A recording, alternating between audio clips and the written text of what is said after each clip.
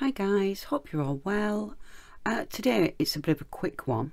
You've probably seen from the photo previous.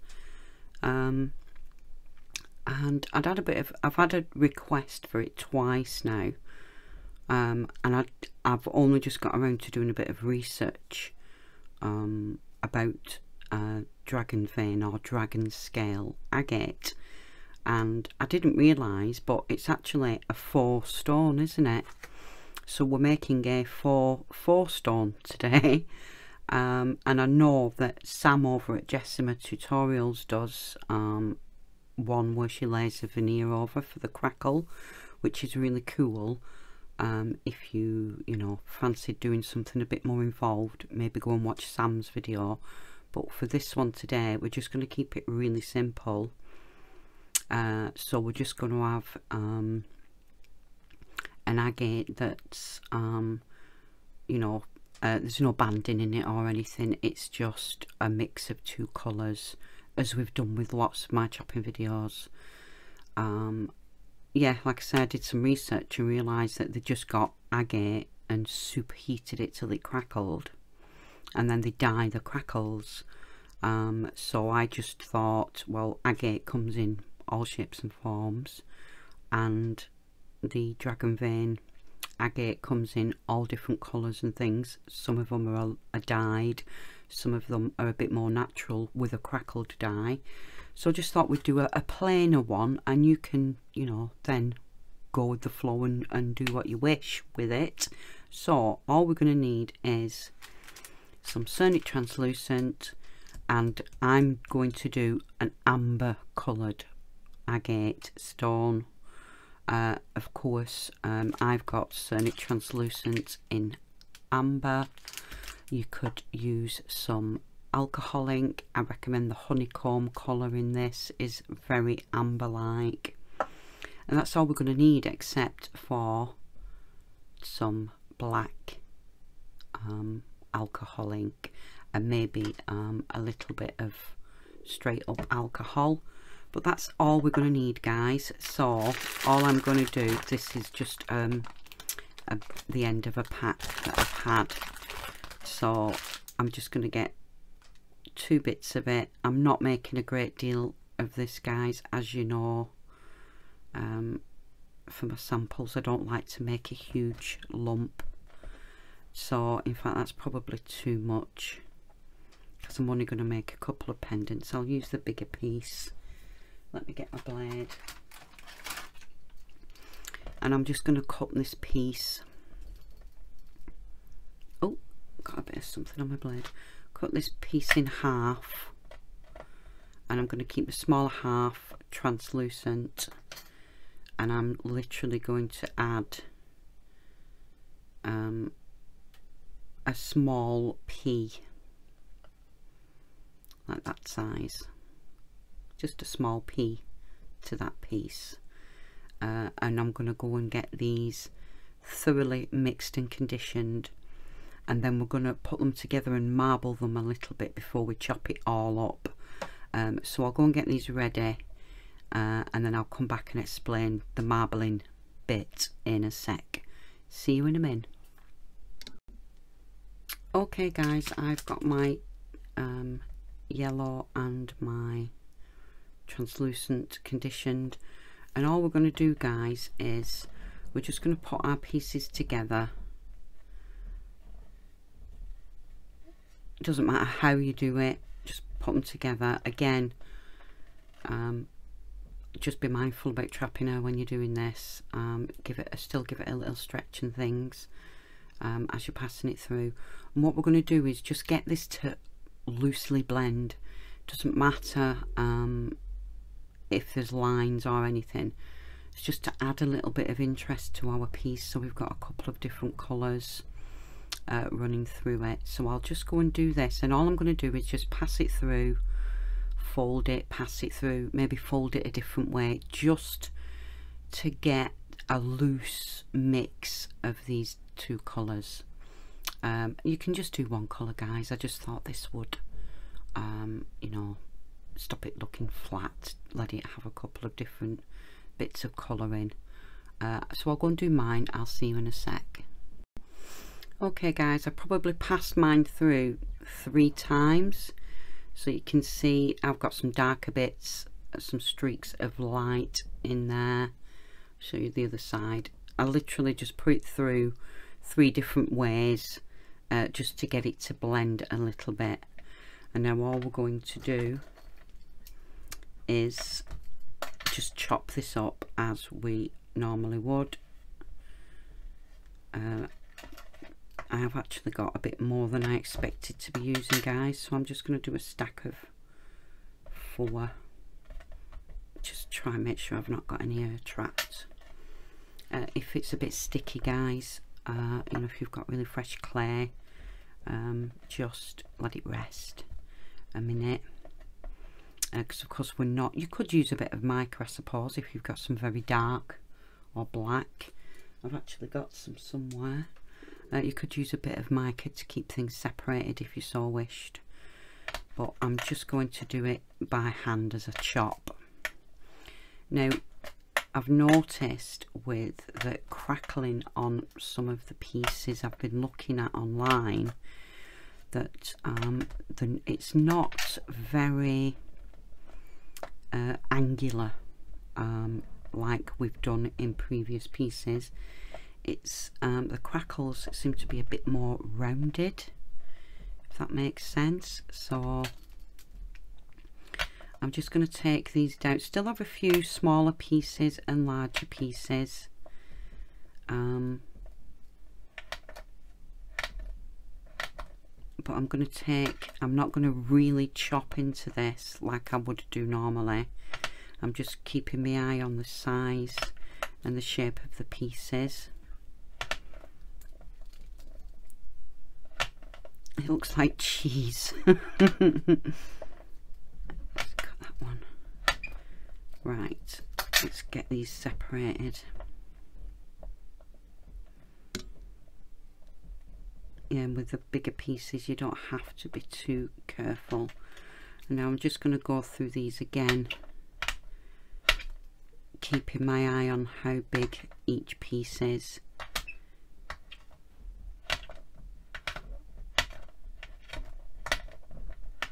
like I say again different pieces look different the pieces I've looked at uh, they weren't too angular and I'm just going to roll to get rid of any sharp pieces so the pieces aren't you know too jagged. Let's just split these up. And it's funny because some of the pieces I've seen are quite large uh, cracks and some are quite small. Um, I suppose it depends on the, the you know the initial agate doesn't it? So I'm just breaking some of these pieces up a little bit and just gently rounding them with my finger. So I've got you know a mix of small and large but not too large. I think that will probably work nicely oh bit of cat fluff I'll just get these little pieces here to round off a bit and I'm just wanting them to keep reasonably separate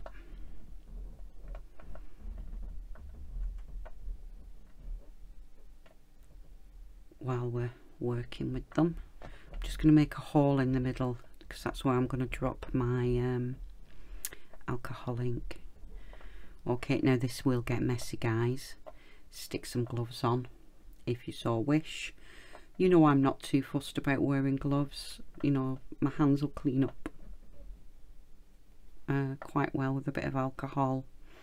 And my nails are already shot, so I'm not worried about them. Right, okay, I think that'll do. Let me just move them pieces. Okay, so I'm going to put one, two, three drops is plenty. I'm going to add some alcohol to that and I'm just going to lightly spritz the rest of my pieces and then we're going to get this mixed in.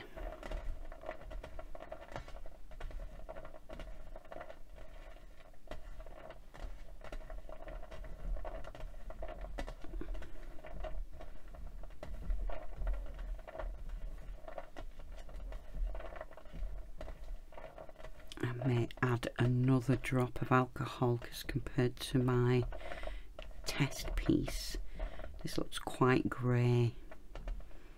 I probably put a little bit too much alcohol on didn't I but okay. Just make a hole guys. I'm just going to put one more drop in the middle just to darken it a little bit and one spritz of alcohol ink. And let's just get that a bit darker. That's better. You just want to make sure it's had a really good mix in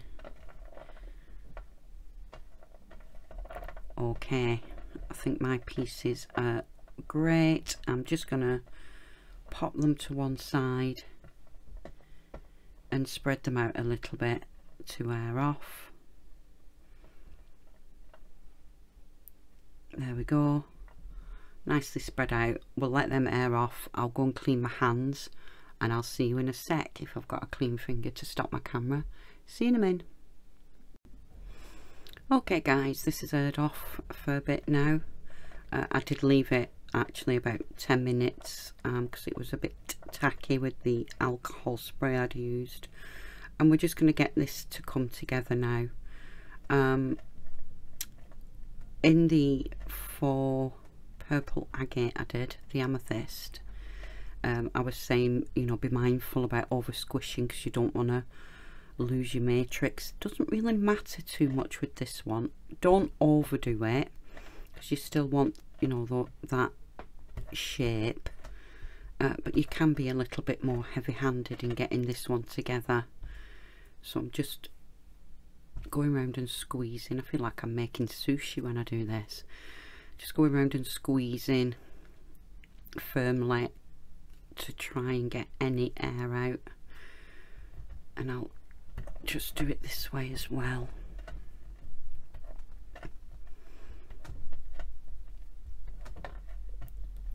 go from the top and the bottom. And there we've got a nice block of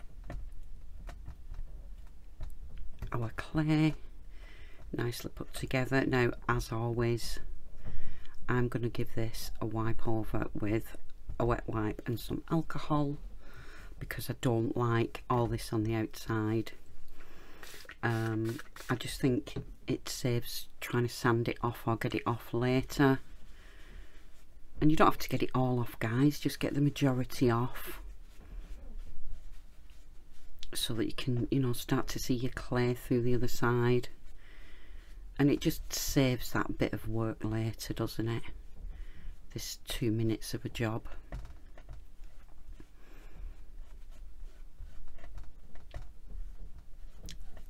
don't know if anybody's um, noticed but um, this Pinata alcohol ink compared to the Ranger one it's miles easier to clean up and get off your hands. Must be something to do with the pigments inside mustn't it? You know that they must use a different pigment and so it doesn't stain your hands um, well I've noticed it with the black and the white more than the um, colours. It could just be that the pigments that they use in these are more of a solid um, so it doesn't dye your skin like other pigments might do. There we go getting there now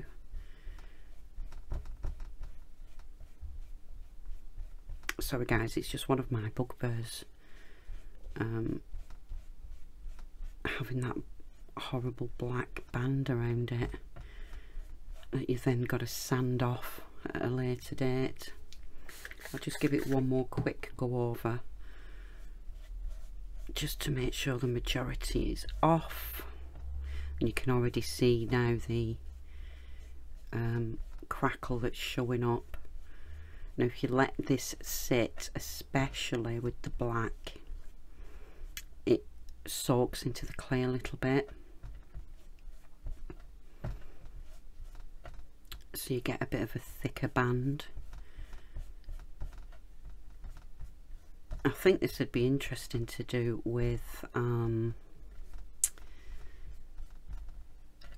different colours. Um, you know, you can get purples and pinks and um, translucent agates with um, like an orangey vein through. I just thought I'd do the black because it's the most dramatic, isn't it? Okay, that's that bit done. Let's find a nice face. Um, I'm just going to cut through this, guys. There we go. So look at that crackle, it's lovely, isn't it? And do you get what I mean now about just rounding those edges off?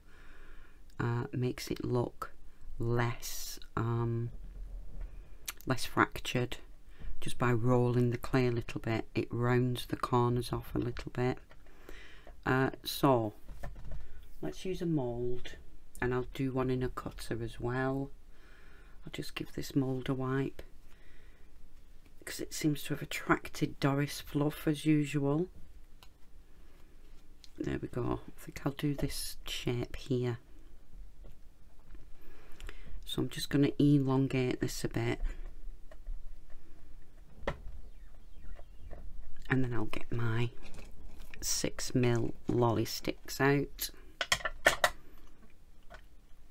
And my roller. And I'll just give this a little roll that way first and then I turn it just so that I don't distort my fracture. And I think that'll work pretty well in this one. Let's just get it pushed down into there. Got a bit too much here to be fair guys just let me trim a bit off. Now I've got a mark where I know it's going to go ah, It's quite a shallow one this I'd forgotten. Okay let's get that in there give it a roll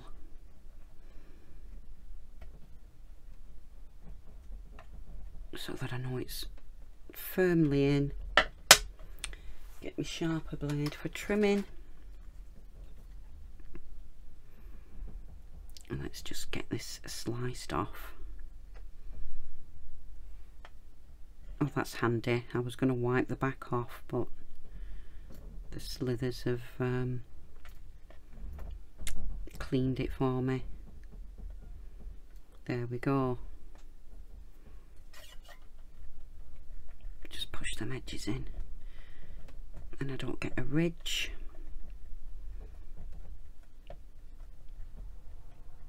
Right, I'll just let that sit a second while I decide what I'm going to do with the next bit. Um, what shall we do?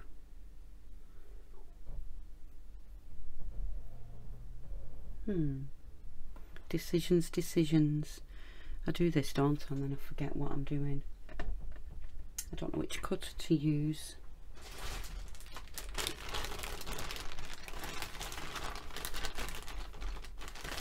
Oh, maybe I'll just use my little curly one. Again. I do like this cutter guys. Or maybe that's a bit big. I think I'll just do a little one. I'll just do this one and we'll curve it because um, I would imagine the stones aren't too big when you're making this. So I'm just going to cut two pieces about the same thickness.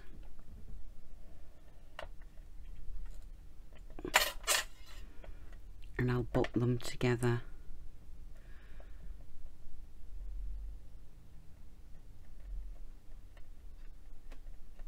Like so. I'm just going to squish that up a little bit to help that joint.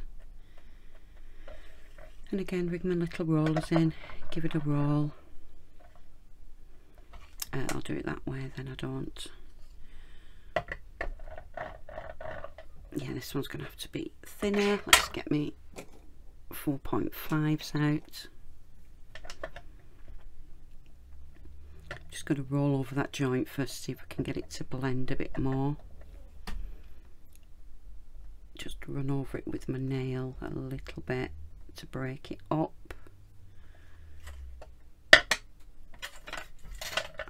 oops let's just pick this up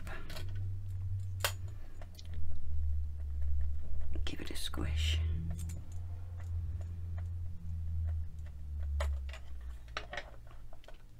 Oh, sorry guys, I've been all fingers and thumbs, aren't I? Right, let's give this a roll. There we go, that joint's all but disappeared now.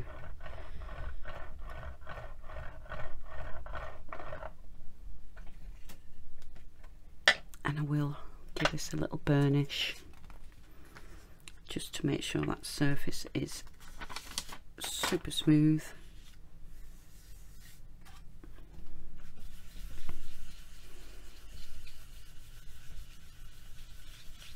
And I may varnish or resin these guys. It just adds that bit of dimension. We'll see what they look like when they come out the oven.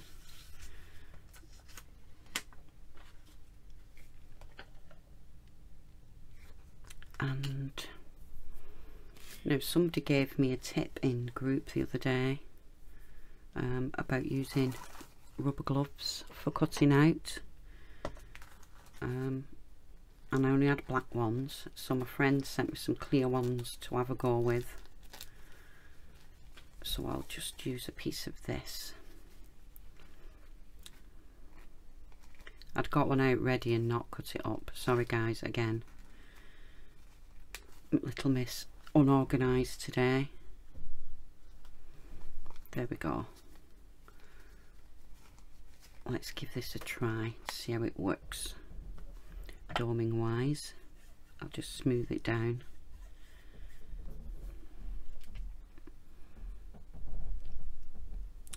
That would have gone that way but never mind. Let's do this. I don't like wasting any.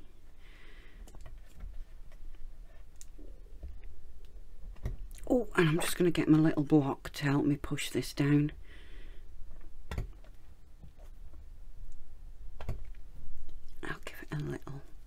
wiggle to make sure it's gone through.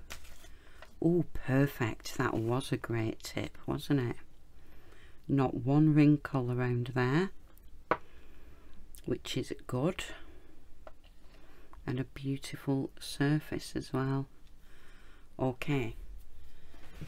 I'll get one of my little silver soaps out. To have a bit of a mark on that one. Let's rub it off. Okay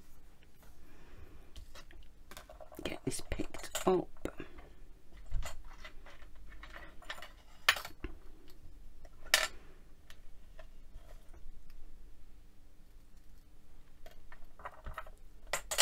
Get it popped on here for a little bit of a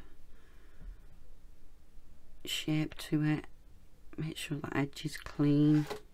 Oops, something's just fell off my shelf. Nice clean edge. Nice surface so that's one piece. And we'll get a little bit of paper and pop this one out. Just loosen it a little bit first. Out you pop and there's our other piece. Okay guys. I shall go and pop these in the oven and I'll uh, see you when they're baked. See you in a minute Hi guys, we're out the oven. Of course they need sanding guys, so they don't look very translucent at the minute. The surface is really nice on those two. With the scraps, I just made this little dropper with a bead that will sit above it and two little dropper earrings. Uh, the the pattern isn't brilliant, but to make use of the scraps, I just thought I'd make these I shall get them all polished up and I shall see you in a sec. Hi guys, we're back. all polished and beautiful um, you can't really see the translucency I'll try and capture it when I take some photos but it looks really lovely I'm really pleased with how they've turned out um, and I've not had to um, UV resin them because I just got a really nice finish on. There is a couple of little specks but it actually makes it look more natural I think. You see that one there I've just caught it in the light. Um, so they're the, the two main pieces and this is what I did with the scraps. So I basically made a bead drilled quite a large hole through. Then I made uh, a little hole in the bottom and put um, a screw eye in put a screw eye in the top of the bead and if you're very careful you can open these eyes and then close them again. So I just made a little dangling pendant and I just did the same with these. Just put screw eyes in. And I thought they needed a bit of something because I, I didn't have any scraps left enough to make two small beads to match that. Uh, but they kind of um, fill in that gap don't they if you know what I mean? So there we go guys. Just some simple ideas with a really simple stone effect. Uh, hope you enjoyed that and the guys that have asked me for it um, uh, you've got something out of it. Obviously you can do whatever colours you want guys. Um, and I might experiment using um, maybe a, a, a, translucent clay with just some amber because I think that would look really nice. Uh, but as I said that you can't really see the translucency but I'll try and capture it in some of the photos so you'll have already seen that anyway. Hope you enjoyed that guys and I'll see you all in the next video. Bye